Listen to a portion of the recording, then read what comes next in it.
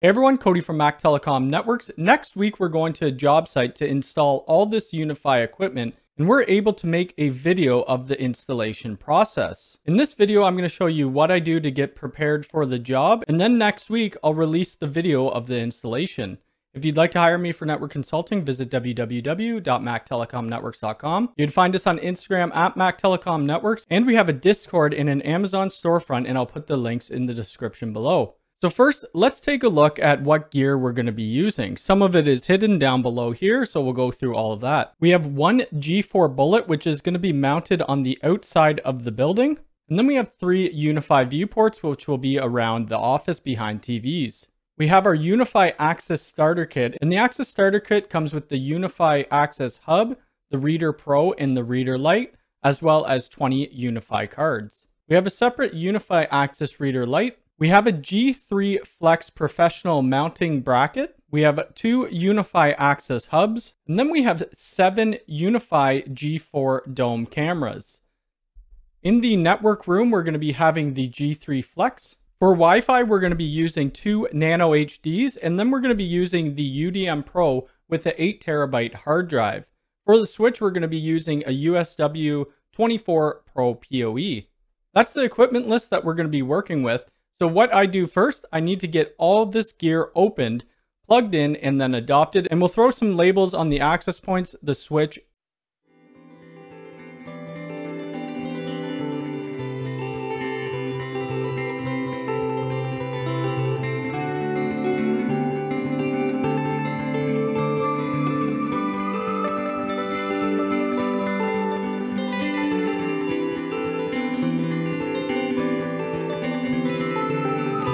Okay, now we have everything out of the box. We need to get it all plugged in. The access reader hubs need to go in the last eight ports as they require PoE++. So let's get these things powered up.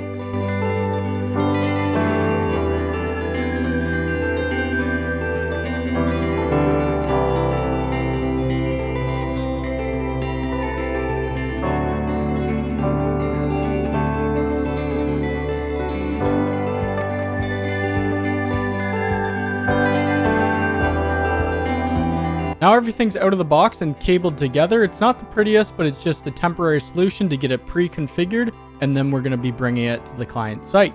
So let's get the UDM Pro up and running.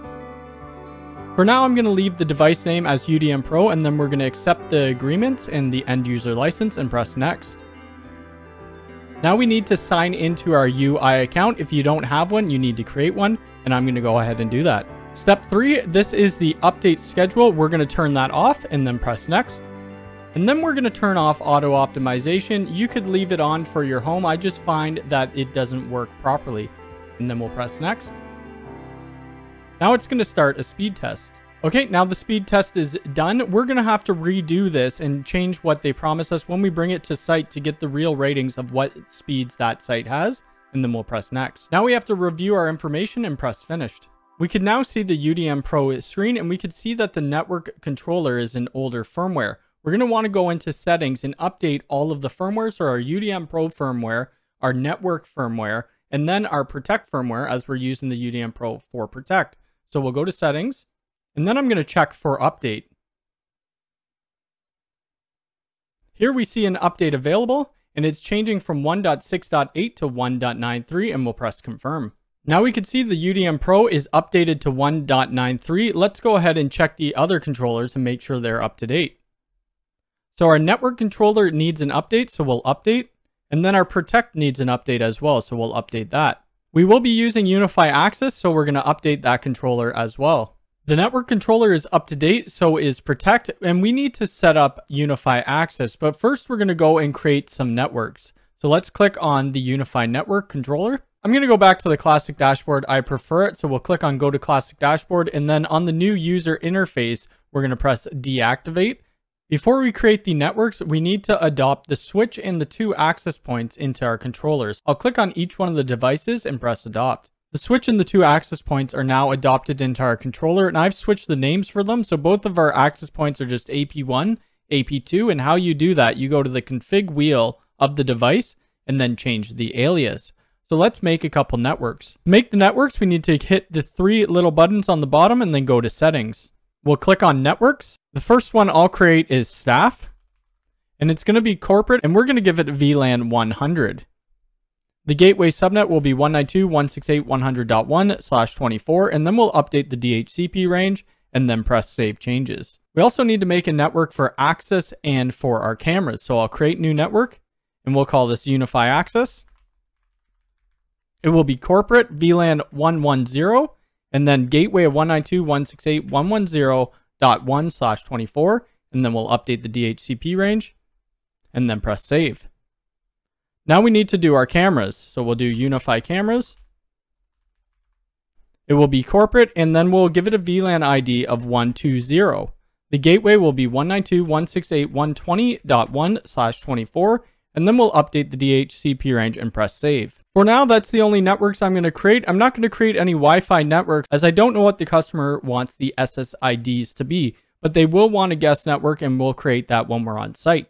So what we need to do, we need to figure out which ports are camera ports, and then we need to give them the specific camera VLAN. So let's take a look at the client tab. Under the client tab, we could see all of our devices that are cameras, and then we could click on the port, the switch port, and then change the VLAN. So we'll click on switch number one, and it's port one. And then we'll hit the edit pencil. I'm going to give this a name of camera one. And then the switch port profile we're going to use is that new UniFi camera network and we'll press apply. Sometimes for the cameras to be able to grab an IP, you want to reboot the camera and we could do that by a power cycle right here and then press confirm. So I'm going to speed through the rest of the cameras and then we'll start doing some of the UniFi access. Now all the cameras are in the correct VLAN. Let's go over to UniFi Protect and then get the cameras adopted. So we'll click here and then we'll just move over to Protect. Now we're in Protect, we need to click on Devices and then press on Add Device. We're able to see all of our G4 Dome in the bullet and all of our viewports. I'll relabel these after, but we'll add all devices. And now all of our cameras and our viewports are up. So that's all we're going to do with the cameras. We're going to leave them as is. And when we get to the customers, we're going to point them, direct them, and then put in motion zones if they want. So let's move over to UniFi Access. On the front page, it says Set up UniFi Access. So we'll click Setup. And here it will tell us an installation guide. I'm going to agree to the end user license, and then we'll press Start. Now it says, please check whether the VLAN on the network of access controller is consistent with the VLAN of the UniFi access devices, and we'll press OK. The access network isn't going to be our LAN, it's going to be that new UniFi access that we set up, and we'll press save. Before we adopt any devices, we need to add location and door group. I'm just going to create a couple door groups and locations for now, and I'll just call them test. And then the door group, we'll call it test as well. And then we'll select the location, which will be test, and we'll press save. Now we need to go down to our devices and then adopt devices. For the first door, I'm going to select test. The second door, I'll select the zone is test and then test one for the door. And then for the third, it will be zone test and then test two and press adopt devices. Now all of the devices are going to adopt and then do firmware upgrades. I'd rather do that here than on the job site as it takes quite a while to get these up and running and updated. And that's the process I go through before bringing the devices to site. I also take note of the MAC address and the serial numbers and put it in a spreadsheet. If you have any questions about this video, please leave it in the comments below. We will be doing the physical install next Friday, July 2nd, 2021, so watch out for this video. If you like this video, please hit the thumbs up button. If you're new here, please subscribe and hit the bell icon. All right, thanks.